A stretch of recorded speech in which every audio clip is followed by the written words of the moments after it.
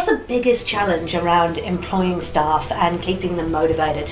Uh, I would like to say finding somebody that can come in that suits our values of the business. Yep. Uh, yeah, you know, like people, a few people have come and gone. Uh, and yeah, I find that the ones that really stick to our core values, which is what we've learnt with EOS, um, they've stuck around.